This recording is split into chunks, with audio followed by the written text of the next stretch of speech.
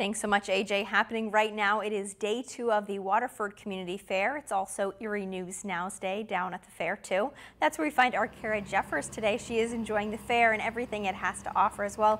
Kara, how's the crowds been so far for the second full day?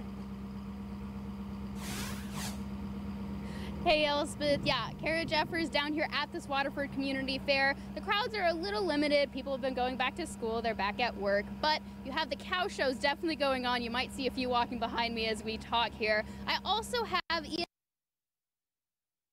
sitting here making sure people are staying hydrated. It is definitely getting hot. I've been sweating. Go ahead, give people what are those signs that they can be looking for as they're enjoying the fair, also staying safe? Well, for one, uh, you have profusely sweating a lot, and people start getting lightheaded, a little, you know, just feeling a little off kilter, a little bit tired and stuff like that.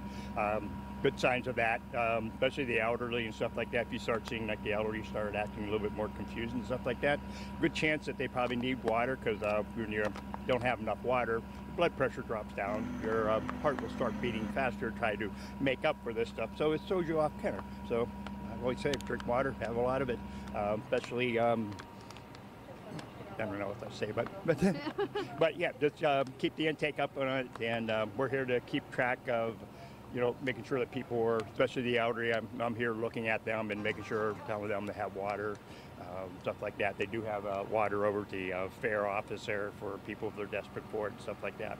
And you said you did have an incident yesterday already? Yes, we did have an incident where somebody got uh, dehydrated and, you know, they kind of took them off kilter with un, not, not responding correctly and stuff like that. But um, after a couple bo bottles of water, they turned right around or right there and doing good. Yeah. So you just got to keep, keep on track. You know, got to keep very, with all this uh, stuff going on, people kind of lose track of that stuff. Uh, another thing I would suggest, don't wear dark clothing. Dark clothing in the sunlight there, it just soaks it up, it heats you up even faster. Definitely. Okay. Well, water is the miracle. Don't wear dark clothes, but definitely come out to the Waterford Fair. Erie News Now is a proud sponsor. There's lots of stuff going on. Those rides will definitely be kicking up later on. Elspeth, back to you in the studio.